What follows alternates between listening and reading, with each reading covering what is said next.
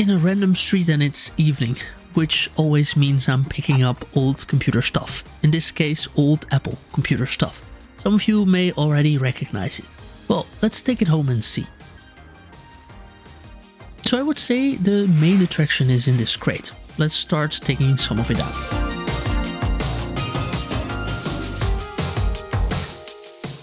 Starting with this mouse, followed by this spell module, a very hefty power brick. Even the seller let me hold it and said that it's been a while since he saw such a clunky piece of equipment. Interesting DIN connector. Then a bag with random cables I won't bother you with.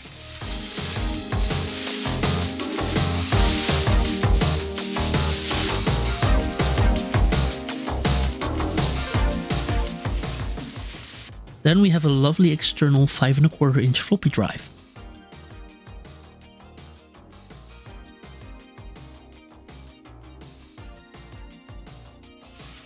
Now let's try to get out this CRT monitor.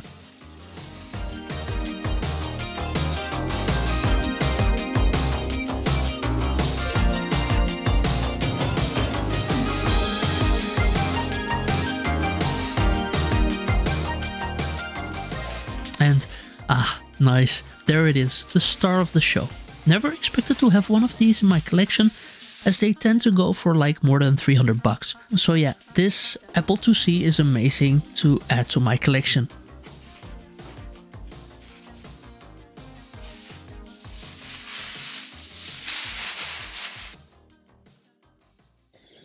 This is the new Apple IIc.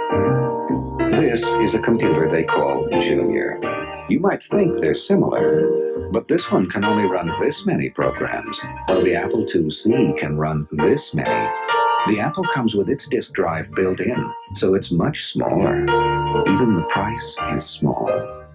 Now, which one would you rather take home? The new Apple IIc. Is it a bad thing to show Apple stuff on a Commodore monitor? I'm not sure. So here it is a bit more up close, and what a lovely little computer. Although the keys appear to be a bit stiff to type on. I think we can fix that. I got this one after the seller got in touch with me saying that the person who outbid me never got back to them, so I could come and pick it up, which I did the same night. An Apple IIc is something I would try not to pass up on. This is a computer from 1984 that runs on a 65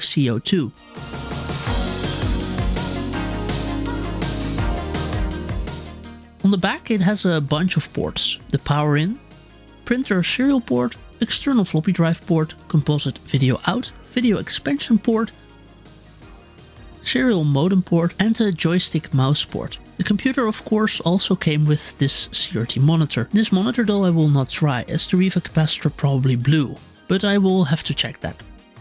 Off camera I did some testing of the power brick and it seems to be safe to try the computer with. Also reading online they seem to be more reliable than the ones supplied with for instance the Commodore 64. With the computer also came something that I of course really love, floppy disks. Interesting what the image of the mouse does with the camera. There are about 20 floppy disks here.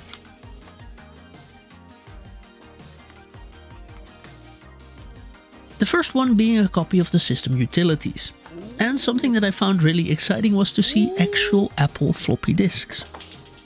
These will be nice to go on my archive side. So let's plug in the power and test the computer.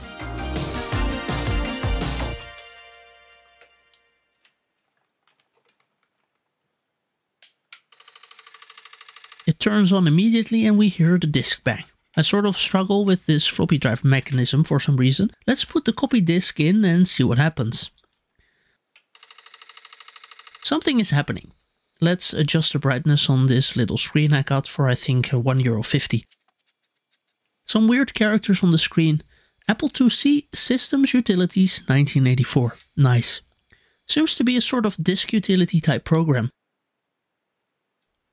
Let's do a quick test to see if all the keys work. Now it's time to try other disks, and well, I have to be honest, this is where things will start to go south, as it displays a boot error, ERR0A. Here are some of the other disks that were included. I like those Apple labels. In this bag is some more stuff I got with the computer. On top, some more floppy disks that looked intriguing, but after some testing turned out to be related to MS-DOS, not to the Apple II. In this envelope, some printed out documentation. I see that a lot with computers from this era. It is in Dutch and about working with AppleWorks. And then the books. This nice one is in Dutch. The other one's in English. I won't bother you with the titles separately, but here they are in split screen. I want to add these to my archive too. Although interestingly the seller said when he handed them over to me that they are probably books that are easily to find on the web. Moving on to the next day. New day, new opportunities I thought. Well, turns out not as the drive still won't read any of the disks. Also this known working disk gave back an expected error. I wanted to try the external disk drive, maybe that would work, but no, I believe the IIc won't boot from the external drive. Another corrupted disk. I wanted to try my floppy EMU, but turns out I had to change that back over to the Apple II mode, since it was now in Macintosh mode, as I used it with my Macintosh Plus. So what possibly is wrong with this computer? I already tried a cleaning disk in the drives without any luck.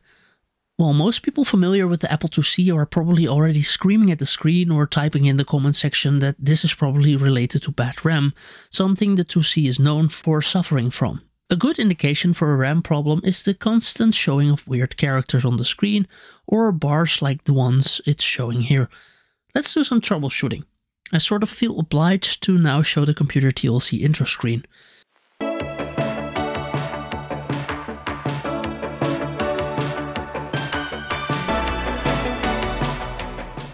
Let's open the case, which with the Apple II requires the removal of a couple screws and the snapping of a couple plastic snaps.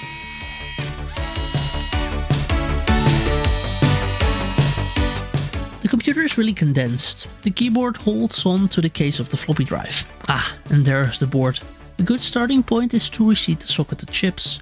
Most of them sort of sounded like they needed that. Then I removed the disk drive from the computer, showing another part of the motherboard. Interesting mechanism. Let's remove the shield to get a better look at it. I lubricated the drive rails and cleaned the head some more with some alcohol. Time to try another disc.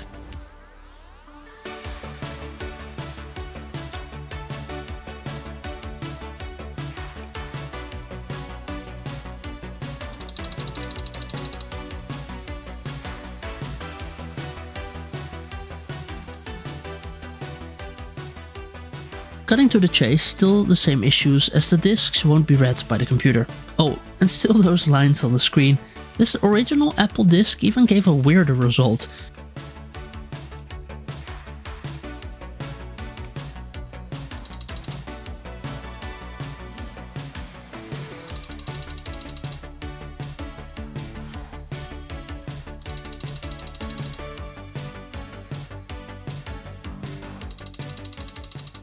To see if the issue lies with the computer or with the disk drives, I wanted to see if switching the drive with the drive from the external unit would change how things are working.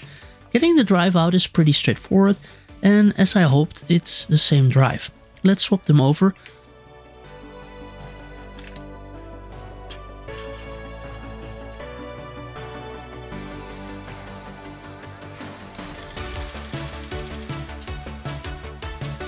Sadly, still the same issues.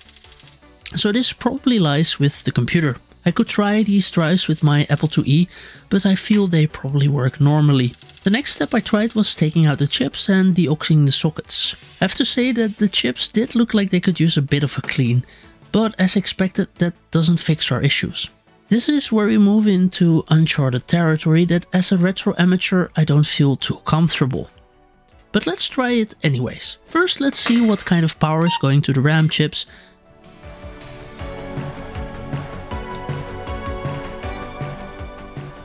It should be 5 volts, and when I test that it shows 5 volts. Time to try my oscilloscope to see what is wrong. And before we look at the chips, I just hate for a second the website of Rigol as I spent about 3 hours to try to connect my scope to my computer so I could capture some of the out. There we go. Welcome to uncharted territory. When I do research online, all the forums suggest that the RAM in the computer is probably dead, since the MT RAM this computer uses is prone to failing. To verify if the chips are bad, I will be probing pin 15, labeled CAS, C-A-S. This pin should show a regular output. So I tested all the chips and this pin seems to be normal. Although I thought I should try this also with a disk drive connected, and then it shows the following. Seems to be a little interference.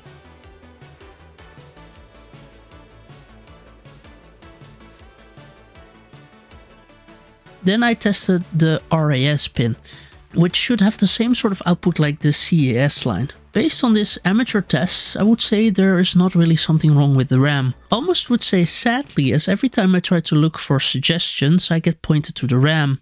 I think we need to move on to another suspect, and that is this chip, the integrated Woz machine. A rare chip with no modern day replacements. Well, turns out I might have a spare because when I looked up the motherboard of a Macintosh SE FDHD, turns out that they also use an integrated Woz machine chip and on this picture it's even socketed. So probably the next thing to try would be to see if we can socket that chip and try another one. But that is for a future video. Also, first I hope to get some advice from people with more experience as I might be reading the outputs wrongly, as again, I am a retro amateur. Of course, I digitized all the floppies that came with the computer, although I did encounter some issues with the AppleWorks disks. You will be able to find and try them out over at my archive site. If you want to see how I archive these disks, you can watch my Adventures in Archiving episode on the topic. I also managed to already archive some of the books, which are also available on my website. Hopefully in a future video we will be able to use these disks with the Apple IIc. But for now, thanks for watching.